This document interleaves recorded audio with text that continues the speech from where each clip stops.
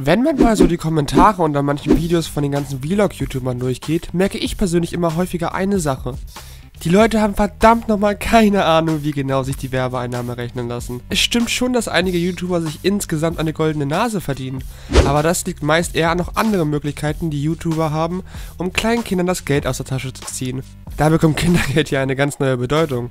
Aber fangen wir erstmal mit einem Beispiel an, um euch zu verdeutlichen, wie sich denn jetzt genau die eigentlichen YouTube-Einnahmen errechnen lassen.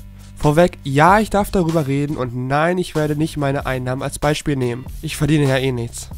Also gehen wir mal von einer Million monatlichen Aufrufen aus. Die Zahl ist schon mal nicht gerade ungewöhnlich heutzutage. Der erste Fehler ist es hier bereits von dieser Zahl auszugehen. Es gibt einen gewaltigen Unterschied zwischen den allgemeinen Aufrufen und den monetarisierten Aufrufen. YouTube hat immer mal wieder Probleme, die Werbung zu schalten, manchmal funktioniert das auch gar nicht, manchmal machen Rechte da Faxen und natürlich gibt es noch die Adblocker. Coole Leute.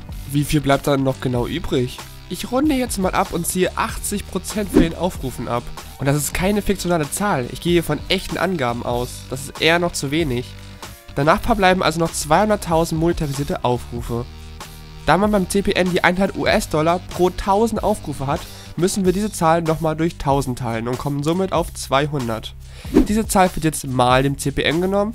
Mit Glück liegt der CPM meist so bei 10 Dollar, also gehen wir auch mal davon aus. Somit kommen wir insgesamt auf einen Gewinn von 2000 US-Dollar für eine Million Aufrufe auf YouTube. Da allerdings hier auch alles netzwerkbedingt ist, müssen aber weitere Abzüge gemacht werden. Bei einem guten Vertrag bekommt man mindestens 60% der Einnahmen, das wären in diesem Fall dann 1200 US-Dollar. Umgerechnet sind das dann nach heutigem Stand 1068 Euro, der YouTuber für seine 1 Million Aufrufe ausgezahlt bekommen sollte. Das ist an sich gar nicht mehr so viel, wenn man die ganze Arbeit und die Ausgaben dahinter berechnet. Natürlich kommt auch noch der Staat und will seinen Anteil haben.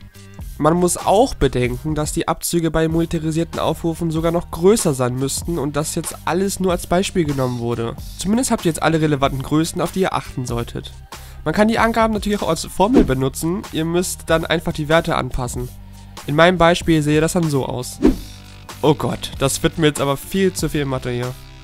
So, da habt ihr wahrscheinlich eure schon lang ersehnte YouTube Money Formel. Alle Angaben ohne Gewähr und nur aus meiner bisherigen Erfahrung als YouTube-Partner. Viel Spaß beim Ausrechnen der Gehälter der YouTuber, lasst mich gerne mal ein paar von denen in den Kommentaren wissen. Wenn ihr euch über meine Erfahrung beschweren wollt, dann schreibt es gerne in die Kommis. Für mehr Stuff von mir könnt ihr abonnieren, erzählt es euren Freunden, Haustieren, nervigen Skype-Kontakten, wie viel YouTuber wirklich verdienen. Und wenn ihr schon hier seid, dann würde mich natürlich ein Daumen hoch wie immer unterstützen. Ich bin aber erstmal raus, bis zum nächsten Video.